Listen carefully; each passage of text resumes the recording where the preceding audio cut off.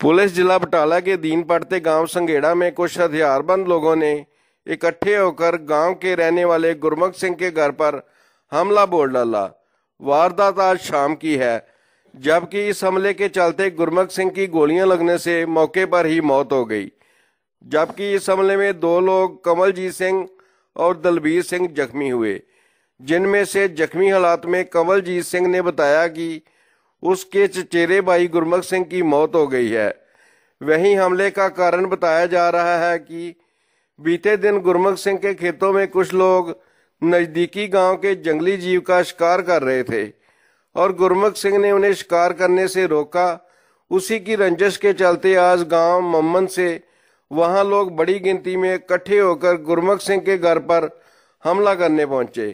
मृतक के रिश्तेदारों की तरफ़ से आरोप है कि हमला करने वाले डेरा बाबा नानक ब्लॉक समिति के पूर्व चेयरमैन के परिवार में से हैं।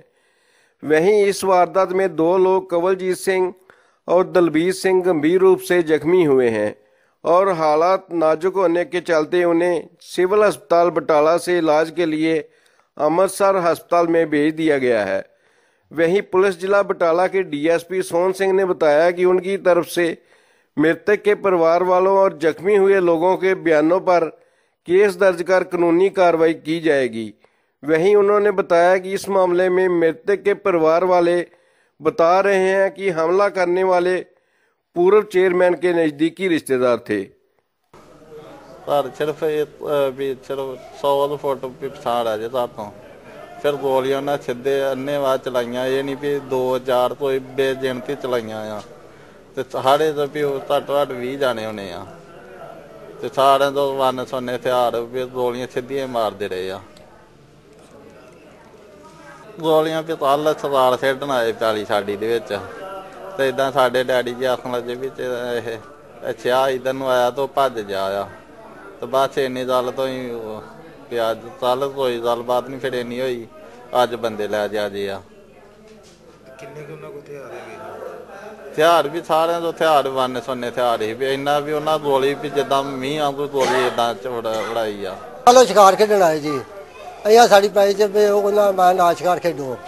ਉਸੇ ਗੱਲ ਤੋਂ ਅੱਜ ਫਿਰ ਆਣ ਕੇ ਬੰਦੇ 20 25 ਲੈ ਕੇ ਆ ਗਿਆ 10 12 ਰਫੜਾ ਸੀ ਇੱਕ ਸੁੱਚਾ ਸਿੰਘ ਚੇਅਰਮੈਨ ਆ, ਇੱਕ ਦਾ ਭਰਾ ਨਿੰਮਾ ਆ, ਦੋ ਮੁੰਡੇ ਆ, ਹੋਰ ਬਾਕੀ ਬੰਦਿਆਂ ਨੂੰ ਛਾੜਦੇ ਨਹੀਂ, ਬਾਕੀ ਕਿਹੜੇ ਕਿਹੜੇ ਜੀ। ਇੱਕ ਸੁੱਚੇ ਦਾ ਮੁੰਡਾ ਵੀ ਨਾਲ ਹੈ ਜੀ। ਸਾਡੇ ਘਰ ਆਣ ਕੇ ਸਾਡੇ ਬੰਬੀ ਤੇ ਪੈ ਗਿਆ ਬੰਬੀ ਸਾਡੇ ਘਰੇ ਅੰਦਰ ਵੜੇ ਆ। ਫਿਰ ਤੋਂ ਬਾਹਰ ਨਿਕਲਿਆ ਸਾਡੀ ਪੈਲੀ ਜਾਣ ਕੇ ਬੰਬੀ ਸਾਨੂੰ ਢਾ ਲਿਆ ਆਣ ਕੇ। ਇਹ ਗੋਲੀ ਜਿਹੜੀ ਵੱਜੀ ਸਾਡੀ ਪੈਲੀ ਜਾਣ ਕੇ ਵੱਜੀ ਆ ਫਿਰ। ਕਿੰਨੀਆਂ ਗੋਲੀਆਂ ਚਲਾਈਆਂ ਗੋਲੀਆਂ ਤੇ ਪਤਾ ਨਹੀਂ ਕਿੰਨੇ ਚਲ ਕਿ ਜਾਈ ਬਾੜਦਾ ਤੇ ਪੰਜ ਛੇ ਰਵਾਲ ਸਵਾਲ ਸੀ ਤਿੰਨ ਚਾਰ ਰਫੜਾ ਸੀ ਪਤਾ ਨਹੀਂ ਕਿੰਨੇ ਕਿੰਨੇ ਜਿਨ੍ਹਾਂ ਦੀ ਲੱਗੀ ਗੋਲੀ? ਗੋਲੀ ਸਾਡੇ ਤੇ ਇੱਕ ਤੇ ਬੰਦਾ ਪੂਰਾ ਹੋ ਗਿਆ ਜੀ ਤੇ ਦੋਵਾਂ ਦੇ ਹੋਰ ਲੱਗੀ ਆ ਜੀ। ਮਮਲਾ ਦੇ ਮਮਲਾ ਸੁੱਚਾ ਸਿੰਘ ਇੱਕ ਮਮਲਾ। ਉਹਦਾ ਪਿਓ ਸੋਹਣ ਸਿੰਘ ਆ। ਨਿਰਮਲ ਸਿੰਘ ਉਹ- ਉਹਦੇ ਪਿਓ ਦਾ ਨਾਮ ਸੋਹਣ ਸਿੰਘ ਕਿ ਕੀ ਨਾਮ ਹੈ ਤਾਂ ਮੈਨੂੰ ਨਾਂ ਦਾ ਪੱਕਾ ਪ- ਲਾਗੇ ਦੇ ਆ। ਸੁੱਚਾ ਚੇਅਰਮੈਨ ਹੈ ਜੀ। ਤੇ ਉਹ- ਉਹ ਦਾ ਮੁੰਡਾ ਵੀ ਨਾਲ ਆ। ਤੇ ਉਹ ਨਿਰਮਲ ਸਿੰਘ ਦੇ ਮੁੰਡੇ ਵੀ ਨਾਲ ਆ। ਤੇ ਬਾਕੀ 30 30 35 ਬੰਦੇ ਹੋ ਰਿਹਾ ਜਿੰਨਾ ਵੀ ਨਾਲ ਹੋਰ ਜੀ ਕੁਝ ਵੀ ਨਹੀਂਗਾ ਭਾਜੀ ਕੁਝ ਵੀ ਨਹੀਂ ਕਹਿੰਦੇ ਕਿ ਉਹ ਕਬੂਤਰ ਮਾਰਦੇ ਸੀ ਨਾ ਤੇ ਪੈਲੀਆਂ ਦੇ ਵਿੱਚ ਤੇ ਉਹ ਖਰਗੋਸ਼ ਵਗੈਰਾ ਤੋਂ ਉਹਨਾਂ ਨੂੰ ਡੱਕਦੇ ਸੀਗੇ। ਉਹਨਾਂ ਨੂੰ ਹਟਾਉਂਦੇ ਸੀਗੇ। ਕੱਲ ਹਟਾਇਆ ਤੇ ਅੱਜ ਆਣ ਕੇ 20 25 ਆਦਮੀ ਆਏ ਤੇ ਉਹਨਾਂ ਨੇ ਆਣ ਕੇ 20 25 ਨੇ ਗੋਲੀਆਂ ਚਲਾਉਣੀਆਂ ਚਾਲੂ ਕਰ ਦਿੱਤੀਆਂ। ਇਹ ਹਟਾਉਂਦੇ ਸੀਗੇ ਉਹਨਾਂ ਨੂੰ। ਹੋਰ ਕੁਝ ਨਹੀਂ ਹੋਇਆ। ਗੋਲੀਆਂ ਮਾਰ ਕੇ ਤਿੰਨਾਂ ਜਣਿਆਂ ਨੂੰ ਗੋਲੀਆਂ ਵੱਜੀਆਂ ਇੱਕ ਤੇ ਖਤਮ ਹੋ ਗਿਆ ਨਾ ਇਹਦੇ ਪਾਪਾ ਖਤਮ ਹੋ ਗਏ ਨੇ ਬੱਚੇ ਦੇ। ਅੱਗੇ ਮਾਂ ਪੂਰੀ ਹੋ ਗਈ ਤੇ ਹੁਣ 2 ਮਹੀਨੇ ਨਹੀਂ ਹੋਏ ਬੇਟੀ ਪੂਰੀ ਹੋਈ ਮਾਂ ਪੂਰੀ ਹੋਈ ਨੂੰ ਤੇ ਹੁਣ ਆਣ ਕੇ ਇਹ ਪੂਰਾ ਡੈਡੀ ਪੂਰਾ ਹੋ ਗਿਆ। ਕੱਲ ਦੀ ਕੋਈ ਗੱਲ ਹੈਗੀ 1:30 2 ਵਜੇ ਦੀ ਗੱਲ। ਕੱਲ ਮਤਲਬ ਉੱਥੇ ਜਿਹੜੇ ਬੰਦੇ ਆ ਮਰ ਗਿਆ ਹੈਗਾ ਸਰਦਾਰ ਗੁਰਮੁਖ ਸਿੰਘ, ਉਹਨਾਂ ਦਾ ਵੀ ਉੱਥੇ ਹੈਗਾ ਉੱਥੇ ਖੇਤ ਹੈ, ਜੀ ਦੂਜੇ ਪਾਸੇ ਜਿਹੜੀ ਦੂਜੀ ਹਮਲਾਵਰ ਪਾਰਟੀ ਹੈ, ਉਹਨਾਂ ਦਾ ਲਾਗੇ ਉੱਥੇ ਉਹਨਾਂ ਦੇ ਖੇਤ ਦੇ ਲਾਗੇ ਡੇਰਾ ਹੈ। ਕੱਲ ਕਿਤੇ ਉਹ ਸ਼ਿਕਾਰ ਕੋਈ ਖੇਡਦੇ ਸੀਗੇ, ਕਿਤੇ ਉੱਥੇ ਉਹਨਾਂ ਦੇ ਕਮਾਦ ਕੂਦ ਸ਼ਿਕਾਰ ਸ਼ਕੂਰ ਖੇਡਣ ਵਾਸਤੇ ਆਏ। ਤਾਂ ਇਹਨਾਂ ਨੇ ਗੁਰਮੁਖ ਸਿੰਘ ਤੇ ਰੂੜ ਸਿੰਘ, ਇਹਦਾ ਇੱਕ ਬੇਟਾ ਸੀ ਕਮਲਜੀਤ ਸਿੰਘ, ਉਹਨਾਂ ਨੇ ਉਹਨੂੰ ਮਨਾ ਕੀਤਾ ਵੀ ਸਾਡਾ ਤੁਹਾਡੇ ਨਾਲ ਖੂਨ ਸਹਿਣ ਨਹੀਂ ਹੈਗਾ ਤੇ ਤੁਸੀਂ ਸਾਡੇ ਜਿਹੜੇ ਹੈਗੇ ਆ ਖੇਤ ਵਿੱਚ ਉਜਾੜਾ ਕਿਉਂ ਕਰ ਰਹੇ ਹੋ? ਉੱਥੋਂ ਕੋਈ ਜਿਹੜੀ ਗੱਲ ਤੂੰ ਤੂੰ ਮੈਂ ਮੈਂ ਹੋਈ ਕੱਲ ਉਹਨਾਂ ਦੀ। ਉਸ ਤੋਂ ਬਾਅਦ ਕੱਲ ਕੋਈ ਹੋਰ ਨਹੀਂ ਕੋਈ ਗੱਲ ਹੋਈ, ਇਹਦੇ ਮੁਤਲਕ ਇਹਨੇ ਕੋਈ ਥਾਣੇ ਵੀ ਕੋਈ ਇਤਲਾਹ ਨਹੀਂ ਦਿੱਤੀ।